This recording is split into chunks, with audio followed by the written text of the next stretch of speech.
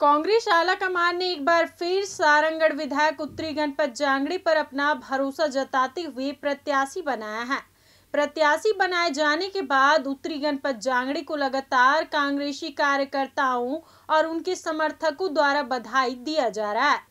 साथ ही जिस दिन से विधायक उत्तरी का टिकट फाइनल हुआ है, उनके समर्थकों ने जगह जगह आतिशबाजी कर अपनी खुशी ज़ाहिर की। विधायक उत्तरी को आला कमान द्वारा एक बार फिर टिकट दिए जाने से पूरा कांग्रेस परिवार सहित लोगों में उत्साह देखा जा रहा है। उत्तरी गणपत जांगड़े ने कोसी में विराजमान माता कोसलाई का आशीर्वाद लेकर चुनावी प्रचार का शुरुआत किया।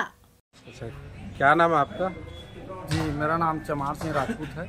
अच्छा अभी एक बार फिर पुनः सारंगढ़ में उत्तरी जांगड़े को टिकट मिला है तो इस पर किस तरह से क्या प्रतिक्रिया है आपकी? इस, अभी हमारे सारंगढ़ विधानसभा में उत्तरी गणपत जांगड़े जी को पुनः प्रदेश कांग्रेस कमेटी के द्वारा प्रत्याशी के रूप में चुना गया है, जिस पर हम सभी को बहुत ही गर्व और बहुत ही ज़्यादा खुशी महसूस हो रही है।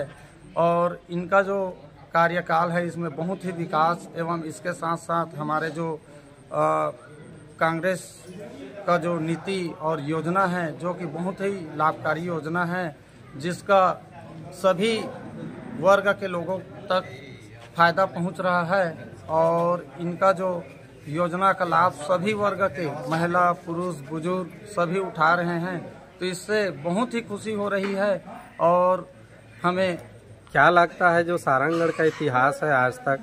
पुनः माने रिपीट नहीं हुआ विधायक तो लगता है कि अभी जो है विधायक को रिपीट हो सकती है?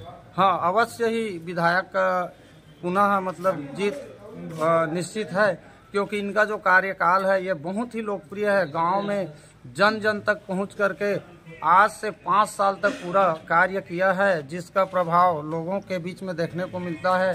तो अवश्य ही उत्तरी गणपत जांगड़े जी पुनः हमारे सारंगढ़ विधानसभा में रिपीट होगी। कोसिर से विजय भारद्वाज की रिपोर्ट एस एन ट्वेंटी